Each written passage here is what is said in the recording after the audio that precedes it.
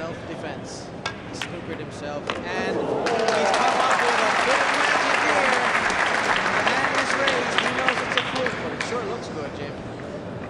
Yeah, the hand's raised, but he's happy he's still at the table.